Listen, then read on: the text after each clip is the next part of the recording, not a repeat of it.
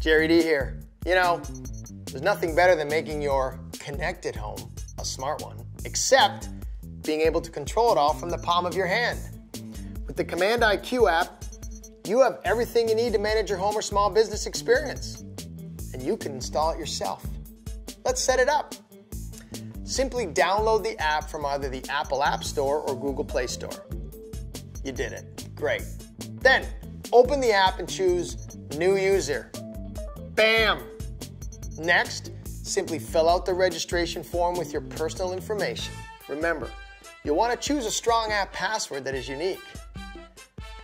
Apple pie. That's a, always, always a good password choice with an exclamation point. Next, scan the QR code located on the label on the bottom of your GigaSpire Blast or on the sticker that came in your box. Or you can enter the MAC address and serial number listed on the same label. Now you need to name your network and create your Wi-Fi network password.